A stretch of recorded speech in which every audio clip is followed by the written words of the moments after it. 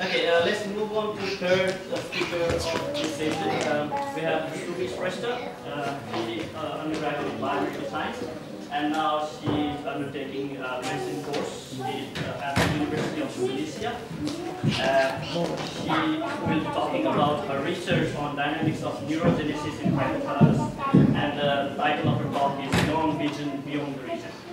Let's hear her, Sumi.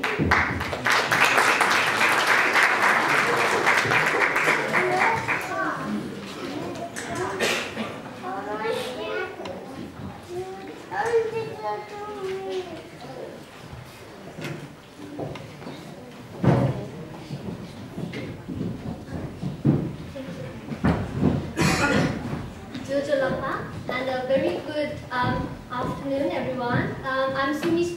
Oops. Okay. Um, I'm Sumi Shrestha. Um, so uh, today, uh, my topic well is young vision beyond the reason.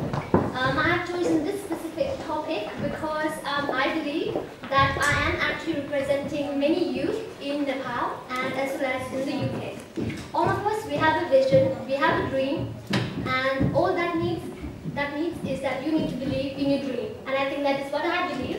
And I will be taking um, you along about my journey.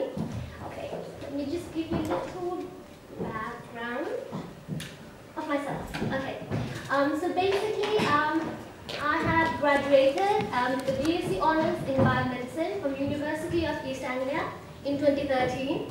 Um, there was a um, presentation that um, Sitaji did earlier about um, biomedicine and the career that takes along. I think I'm a very prime example of it. So yeah, so I graduated as a um, biomedical scientist in 2013. Um, and after that, um, I chose to study medicine. So right now I'm studying medicine. and I'm also a Miss UK Nepal 2014 first runner-up of this year. Alright, so to give you a quick overview about my presentation itself, um, I'll be talking about the research that I've been involved with, which is mostly about the neurogenesis of the hypothalamus. I will take you through that in a minute. Um, and also I'll give you a little um, journey um, that I've been involved with from this week and a half, and also the future projects that I'm, um, that I'm involved with. Okay, so talking about neurogenesis itself. Neurogenesis Neurogenesis itself, it means the um, birth of a neuron. And hypothalamus, well, hypothalamus is a part of our brain, um, which is just around here. If you see, that's the hypothalamus. It's a very small part in our brain, but it has a various function and it's very important. Um, mainly because um, it has got three important functions and it's the homeostatic function. Um, it's the circadian rhythm, so your sleeping pattern and everything, um, your hypothalamus, it controls it, your appetite, how much you intake, and also your energy balance. It is all controlled by this little part of our brain called the hypothalamus. Um, uh, it, it links your nervous system with the pituitary gland, um, and hence it has various functions to, be, to do with all of these. Um, hypothalamus itself, um, okay, so this one here is a small schematic diagram that I've got. Um, hypothalamus itself, it is, um, it is made up of various little nuclei. And in each nuclei, you have got various neurons. For example, there are arcuate nucleus, which is just down here, and you also have got paraventricular nucleus, and so on. So each of these little nucleus, they have got their own little function. Um, and all of the neurons in this particular part of the brain, all arises from this thing here. And so to right, this is called the third ventricle of our brain. So all of your neurons, it all arises from that part of your brain. Okay. So um, there is something called tanycytes, um, which are basically the subpopulation of radial glial cells. This one here, these are the tanycytes. So there are four different types of tanycytes. There are alpha 1, alpha 2, beta 1, and beta 2. And uh, alpha 1 and alpha 2, you have got a specific marker for S100 and GFP, which you use to mark these A1 and A2 tanycytes. And for B1 and B2, you have got AMBs. Um, I'll talk about that one much later it takes a long um, process to describe that one. Okay, so basically in your brain, they all derive from the subventricular zone of the lateral ventricle and the dentate gyrus of the hippocampus.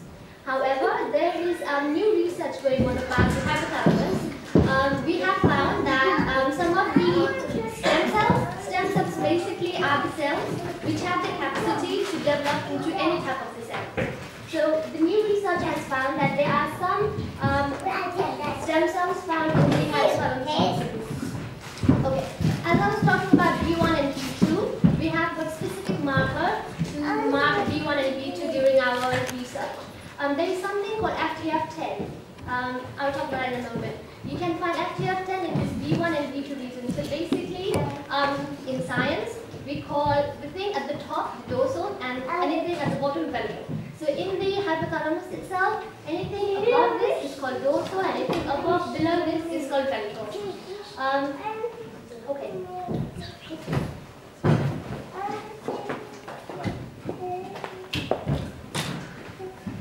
Sorry. Thank you.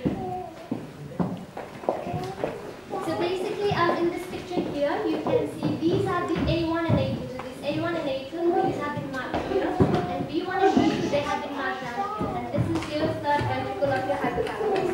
Um, so my main research was about um, if there are any um, stem cells present here, and if they are, where do they go?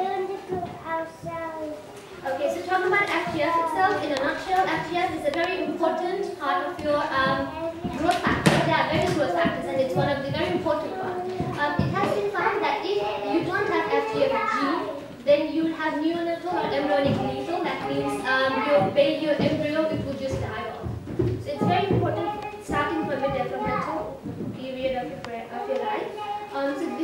basically just FGF.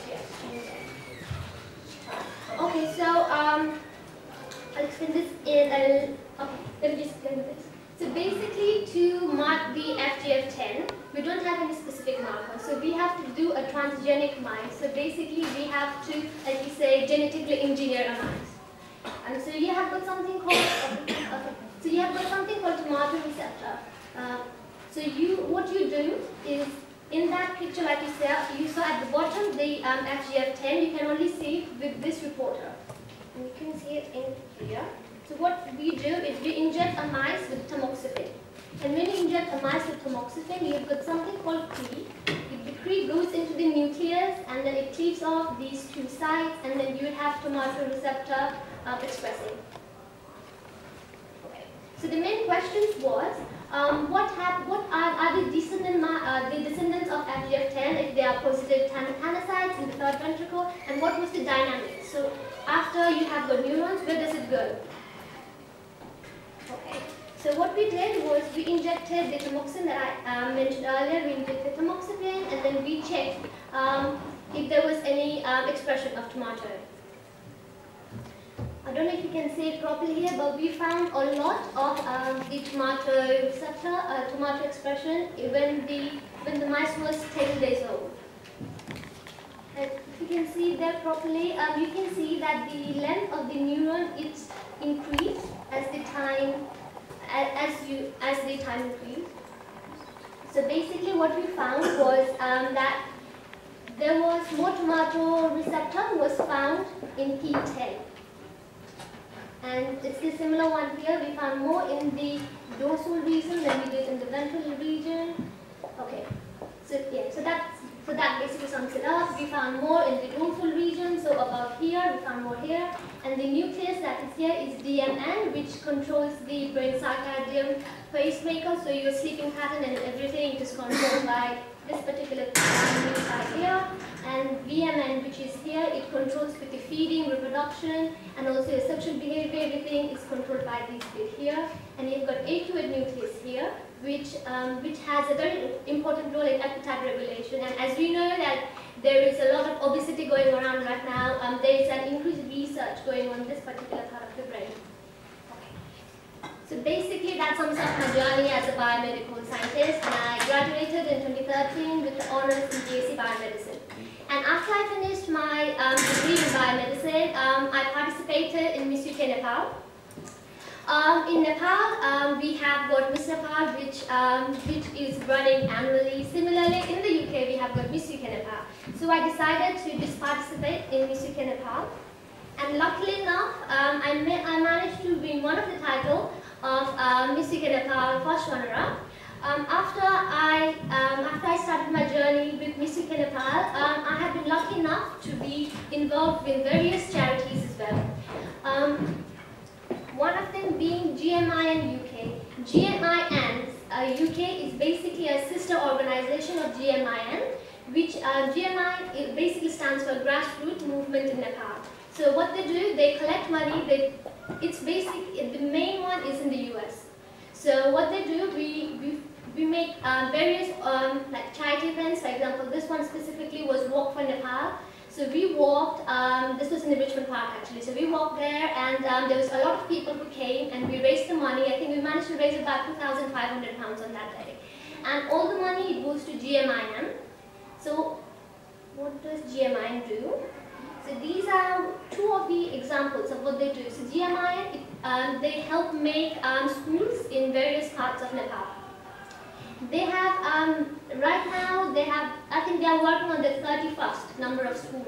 So, so they have done a lot, they have, well, developed, or let's say, um, organized um, various um, schools. This is number 28, so this is one of the completed ones, and this is still being renovated and still on the process. And the other one is um, with Miss UK Nepal, we organized a child event. It was called Beauty with a Purpose. Um, and this event, it was all of our Miss UK Nepal group. Um, we organized this event. Um, this happens annually. It's a charity event with Miss UK Nepal that happens every year. And we organize, we um, raise money for different um, organizations or NGOs in Nepal. This year, we managed to raise money for Maiti Nepal.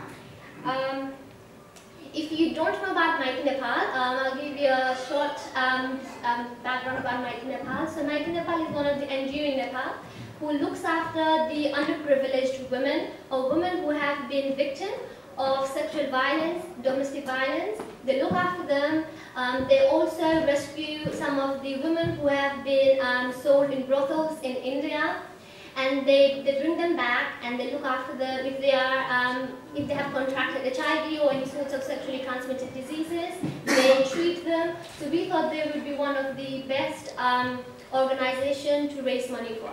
So that's what we have done. Um, this this picture here specifically are of the girls who um, who are in Maiti Nepal. Um, and all of them, they managed to um, pass their SLC with first division this year. No one failed, which is very good. Um, so yes, this is some of the awareness programs that they do as well. And this lady here, she is Anuradha Koirala, the founder of Maiti Nepal. Okay, so talking about the future projects. Um, I'm going to Nepal this August and I'm in talks with various organizations um, as of what I will be doing there. Um, I'm, I'm in talks with some of the NGOs to work with them, one of them being Maiti Nepal as well. Um, and being a biomedical scientist myself, I think there is a huge, huge, huge room of improvement um, for scientific field in Nepal. And I know that there are a lot of um, scientists present here in this room as well. So um, I would love to talk to you later today um, after this um, talk and then maybe have some discussion about what we can do to um, develop at least scientific research. I I am in talks with some people about um, talking about um, donating some of the laboratory equipment like PCR machines or things like that back in home and also perhaps provide scholarship to some of the students there, um, especially um, the women in Nepal. Um, I think if we have, if we can provide them with a scholarship, I think they can go very, very far ahead. Um, and also, I am in phase of organizing various charity events in future to to collect money, to do all of these things in Nepal. Obviously, it's not cheap, it requires money. Um, so I'm in talks of um, organizing some charity events as well. And I think that basically sums up everything. Um, as I mentioned, my title was Young Vision with uh, sorry, Young Vision Beyond the Reason. So um, I believe that all of us, we have a dream, we have a vision, we should all cherish our dream and vision. My dream and vision was is to do something in our country, Nepal, to develop the Nepalese scientific area and I hope that um, I will be able to work with you all um, and to make my vision complete. Thank you.